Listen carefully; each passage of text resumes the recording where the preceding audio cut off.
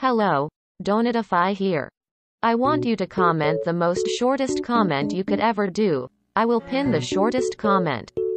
Good luck everyone. So please comment, like this video in five, four, three, two, one, and you will be a legend. Thank you so much for watching. Poggers.